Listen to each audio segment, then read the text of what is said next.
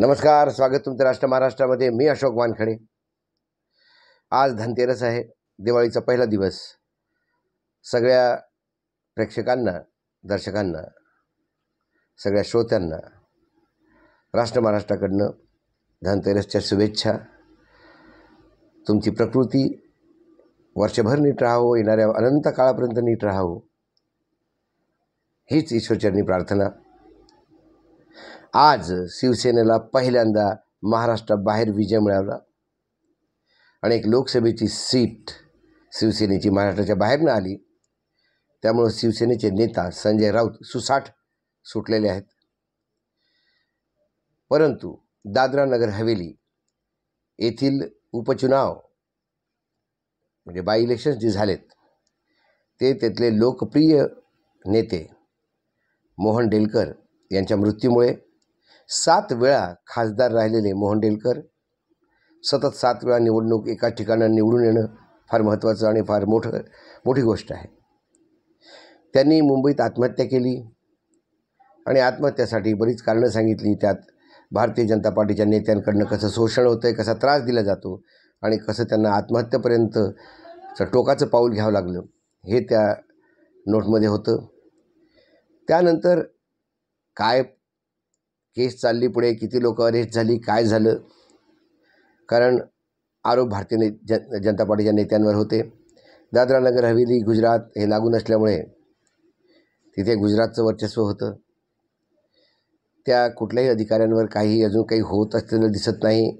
त्या नेत्यांवर काही होत असलेलं दिसत नाही. परंतु जेव्हा तिथे बाय इलेक्शन अनाऊन्स झाले त्यावेळेला त्यांच्या पत्नी कलावतीबेन यांना शिवसेनेने उमेदवार बनवलं.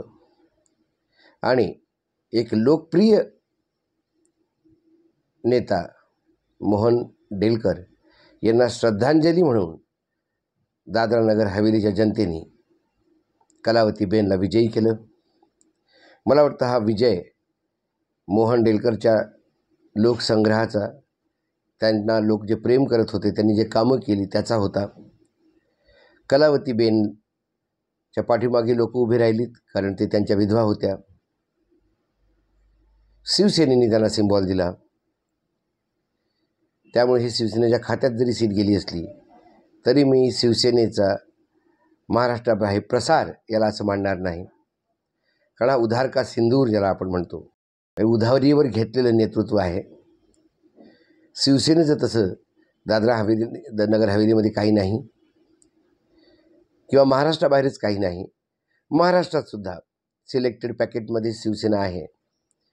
जर शिवसेना इतकी मोठी पार्टी असती की महाराष्ट्राच्या बाहेरसुद्धा लोकसभा सीट्स त्यांना मिळाल्या असत्या तर मग महाराष्ट्रात शिवसेनेने स्वतःच्या बळावर सरकार बनवलं असतं.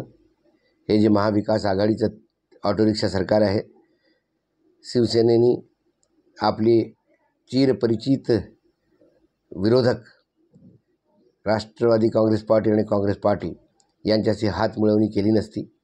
परंतु हे सर्व महाराष्ट्राच्या जनतेला माहीत आहे की नवीन गोष्ट नाही. त्यामुळे संजय राऊत जरी सुसाट सुटले असतील तरी पण महाराष्ट्राच्या जनतेला आणि सगळ्यांना माहीत आहे दादरा नगर हवेलीच्या बाय इलेक्शनचा हा विजय लोकसभेचा हा मोहन डेलकरचा विजय आहे. त्यांच्या पत्नीच्या प्रती सहानुभूती लोकांची होती म्हणून तो विजय आहे. शिवसेनेचं इथं कुठलंही घेणं देणं नाही.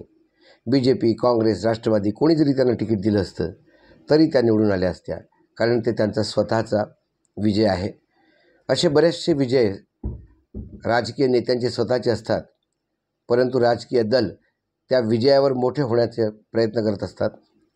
मला वाटतं महाराष्ट्रात शिवसेनेला काम करायला भरपूर वाव आहे. त्यांनी महाराष्ट्रातच काहीतरी करून दाखवावं. त्यामुळं संजय राऊतांना जरी हा अभूतपूर्व विजय वाटत असेल नवीन द्वार खोलल्याचा विजय वाटत असेल. दोन हजार चोवीसला उद्धवजींना पंतप्रधान होण्याच्या संधीचा विजय वाटत असेल तरी हे त्यांचेच विचार आणि त्यांच्यापर्यंत सीमित आहे. वस्तुस्थिती ही आहे की दादरा ना नगर हवेलीची जी विजय आहे जो तो विजय मोहन डेलकर आणि कलावती बेन यांचा व्यक्तिगत विजय आहे असं मला वाटतं. एक राजनीतिक विश्लेषक असल्याच्या नात्याने आज एवढंच पुन्हा उद्या काही येतो नवीन विषयासोबत. तोपर्यंत नमस्कार. पण पाहत राहा. राष्ट्र महाराष्ट्र.